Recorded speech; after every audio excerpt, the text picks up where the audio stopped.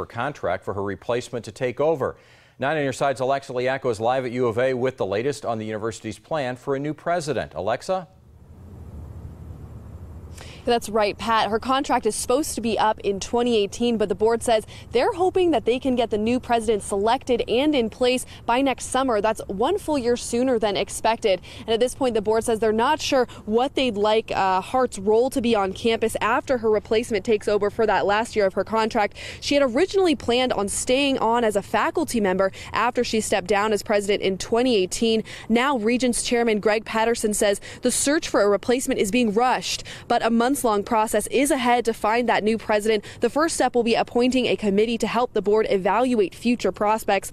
This all started earlier this year after President Hart joined the board of the company that operates for profit DeVry University. And then in June, she announced she would not renew her contract as president a position she's held since 2012. So the next step is appointing that search committee, and those people will be announced in just a couple of weeks. But the board is also looking for the public's input. Any comments that you might have about who you'd like to see for the next U of A president, you can send those all in online. Live at University of Arizona, Alexa Liacco, KGUN 9 on your side.